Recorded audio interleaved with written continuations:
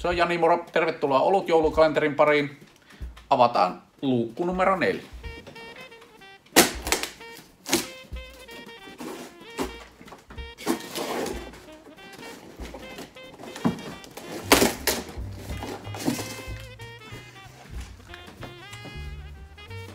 Ja tänään Cloudwater, Cloudwater Brew Company.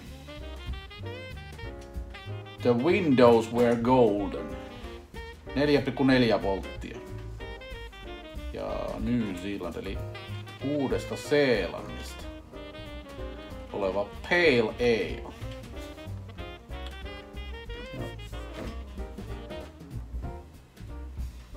Cloudwater Brew Company.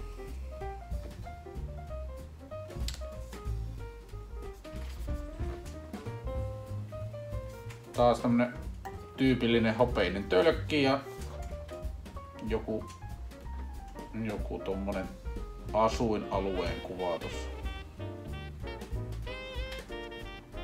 Kuva tossa.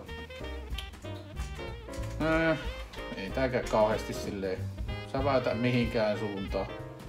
Sen sanotaan siihenkin kolme viidestä.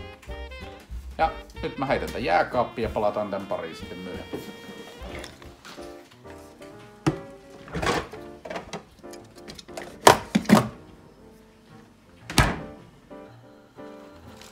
No niin. Tsekataanpas tämä.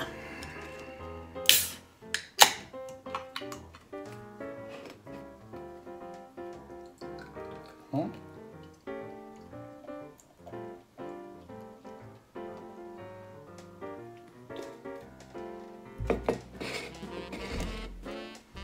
On vaalea peile, ei tottunut, että on tummempi. Vähän tiivis vaahto, se olien keltainen. Mm. Jätän sen siihen kahteen viidestä. Ja maku. Uh, onpa erikoinen haju.